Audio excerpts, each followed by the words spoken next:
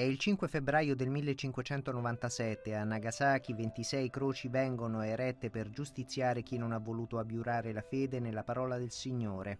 Tramonta così nel sangue la prima fase dell'evangelizzazione cristiana in Giappone, iniziata mezzo secolo prima con la predicazione di San Francesco Saverio. Questa è la storia del film I 26 martiri del Giappone del regista Tomiyasu Ikeda, una pellicola degli anni 30 riemersa per caso alcuni mesi fa dagli archivi della congregazione salesiana, restaurata e presentata in Filmoteca Vaticana proprio in occasione della commemorazione del supplizio.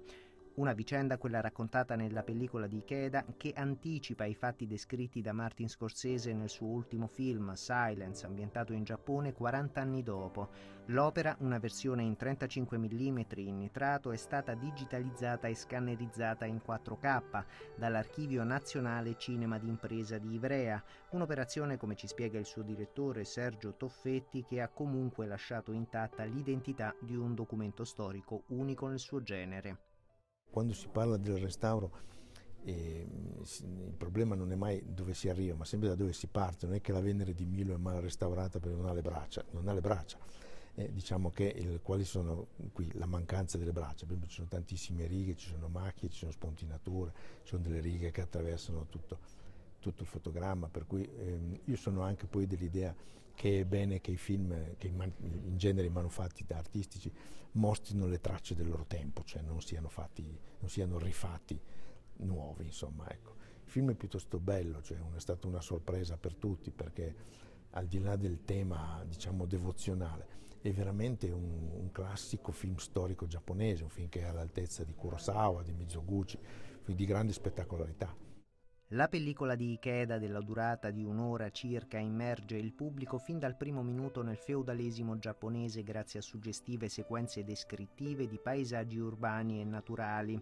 La pacifica predicazione del Vangelo da parte del francescano Pedro Bautista con cui comincia il film trova in breve tempo nella diffidenza del governatore Toyotomi Hideyoshi un oppositore feroce e sanguinario. Suo è l'ordine di dare inizio alla persecuzione dei cristiani e di crocifiggere leggerne 26, 3 gesuiti, 17 terziari e 6 francescani.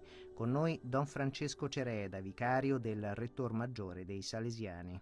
Certamente questo tema dell'incontro delle culture, soprattutto le culture antiche, raffinate, che hanno una tradizione anche culturale profonda, eh, risulta essere difficile.